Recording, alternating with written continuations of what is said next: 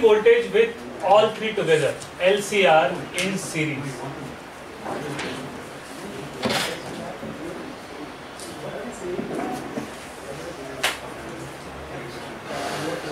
This is how you will see the circuit.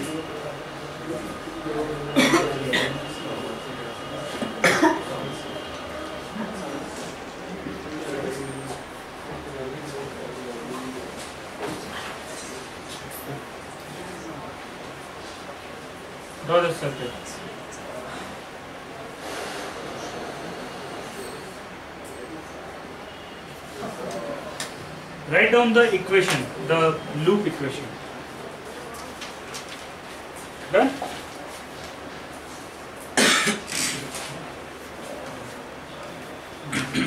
so we will have V naught sine omega t minus L di by dt minus q by c minus ah, pi r. Fine. So if I take all of these current terms that side, I can write. Acha, by the way, we have this equation, right? Current is equal to dq by dt, and di by dt will then become equal to d square q by dt square. Why I am doing this? Because I want to reduce number of variables. That will help me to reduce the number of variables. Right now, current, charge, time, everything is variable. Then if I use that, then only current and sorry, only charge and time is a variable. So L d square q by dt square plus R dq by dt plus 1 by c times q is equal to v naught sine omega t. Okay. Fine. Now they are connected in series. So what will be common across? current. Write down in series connection the current will be same. Whatever current inductor receives, same current capacitor and resistance will also receive because it is a series circuit. Now there are two ways you can solve this equation. Okay, there are two ways. One is exactly solving it mathematically, as in uh, you try to solve the differential equation. Okay. The second way is using phasor, and phasor way is very easy. Right. So let us first try to do the phasor solution. Phasor solution. Write down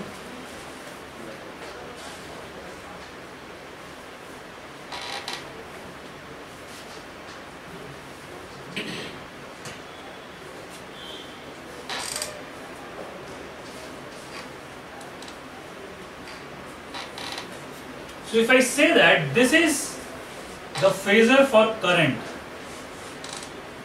if this is the phasor for current, this angle will be what? Omega t. Okay.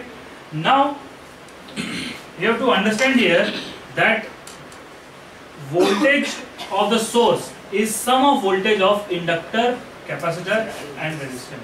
So this is VL this is VC and this is VR.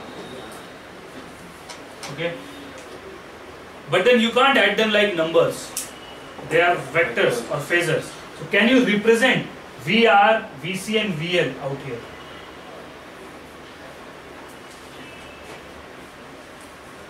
First tell me where will be VR? VR will be along the current. There is no phase difference. It this is VR. now represent where VL and VC will be. Can you just take I along the axis? Because it's arbitrary. No, but omega t will not feature then. I want to show omega t.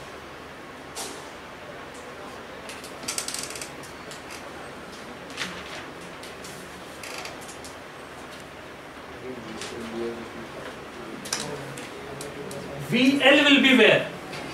We uh, VL will be what? Where, where? VL will be here or there? The down. VL will be above. The voltage leads the current in the inductor. So the as soon as current enters, the same current goes through all three. So as soon as current enters the inductor, the voltage becomes ahead of current. Fine. How much is this? this is VL. Okay. This is equal to I times XL. Yes or no? Right. This is 90 degree. What about VC? Where will be the VC? So it will be like this. So will will it be in the same line? VC is I into XC. Will this be a straight line? It will be a straight line, right? Now you have to add all these three. When you add all of these three, you should get this. Okay. Now can you add? so those two cancel. They don't cancel. They don't can they don't need to cancel. VR is I into R. First you add these two vectors. What will become? It will become this vector, whose magnitude will be I times XL minus XC. This magnitude. Fine. Then what you do? You have added these two, right? Now you have to add the third vector. To add the third vector, you complete the parallelogram. And this is your third vector. Sum of all three. The magnitude of that will be I times or I square XL minus XC whole square plus this is the magnitude okay? So basically what you're getting is this. V is equal to i times root over xl minus xc the whole square plus r square where xl is induct sorry yeah inductive reactance xc is capacitive reactance right so current will be V by Z, where Z is this.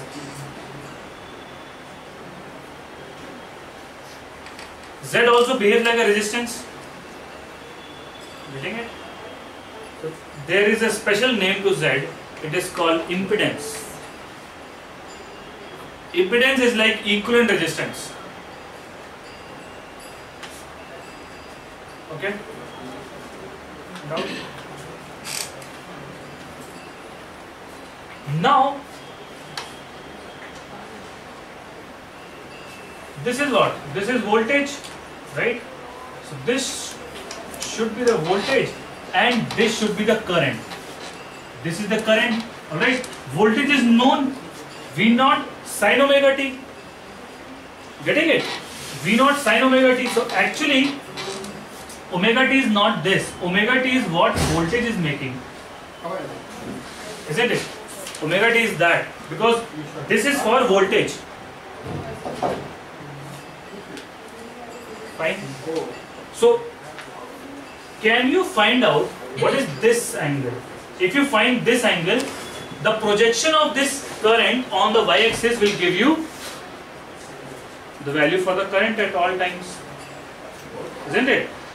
See the projection of this current on the y-axis will give you the value of current. Yes or no? Right? This is your actual voltage. This sum of all the phasors.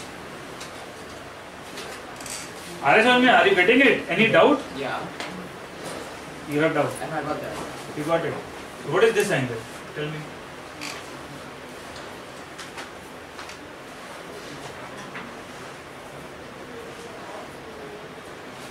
You know that this angle is omega t. Do you know this angle?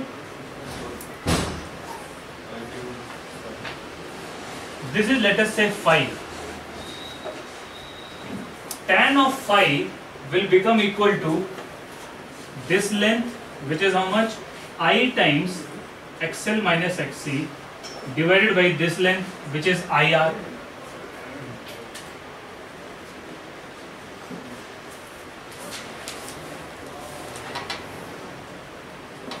Tan of phi is XL minus XC by R. Okay. So the value of current will be equal to I naught sine of omega t minus phi. Where phi is tan inverse of this.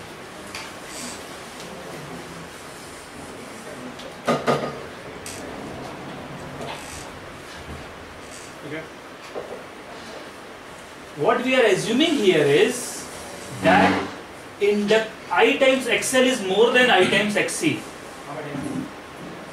Getting it? If I times XL is less than I times XC, whole thing inverts. Then you get plus phi and tan of phi will be XC minus XL by R. Fine. Clear? Eh, Even Any doubts you can ask because this is where many, uh, like almost everybody gets stuck. Even that will change, right? This one, no. See, this is XL minus XC whole square. So What is whether XL minus XC is plus 2 or minus 2 doesn't matter. You're, you're taking square. So, uh, can you So just can you explain that? Which one? This I one? naught sine omega. See, here, uh, let me explain this phasor first. I'll just erase all the values.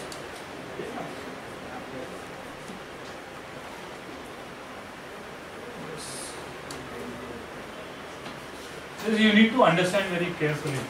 Very, very important. This is what VR, this is VL, and this is VC. If you add all of these three, what you should get? This. right? So get this. So addition of these three vectors, if it gives you this vector, then this is omega t.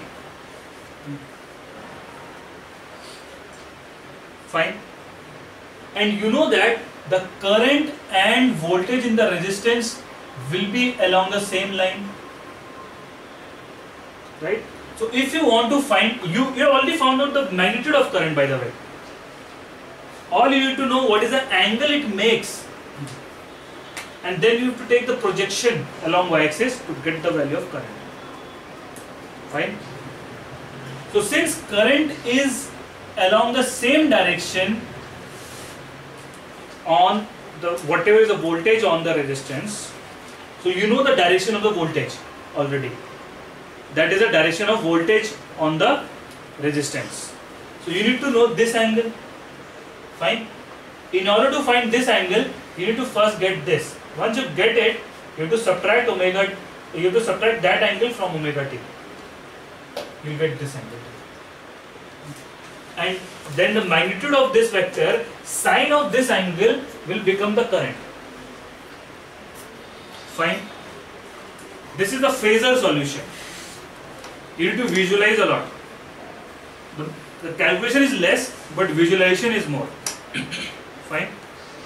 Next solution will be analytical solution for this differential equation. We will be solving it analytically. Okay. So, but how does the I naught come in in the equation? I naught is the maximum value of the current. So that into projection of that only on the y-axis is the current, isn't it? And I naught magnitude you already found out. V V naught divided by Z.